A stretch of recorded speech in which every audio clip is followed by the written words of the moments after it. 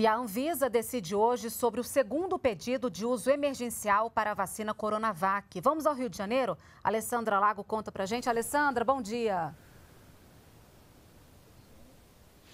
Olá, Renata, bom dia. A reunião está marcada para as três da tarde.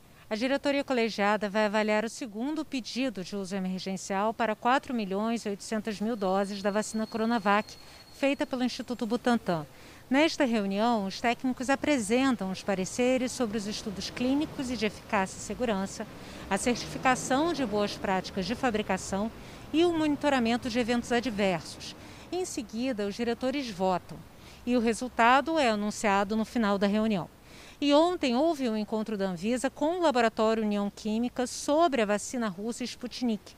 O objetivo foi acompanhar e trocar informações com o laboratório sobre o desenvolvimento da vacina. Não há ainda pedido de autorização de uso emergencial. De acordo com a Anvisa, novos documentos serão apresentados após uma nova reunião técnica que deve ser realizada em breve, Renata. Obrigada, Alessandra, pelas suas informações.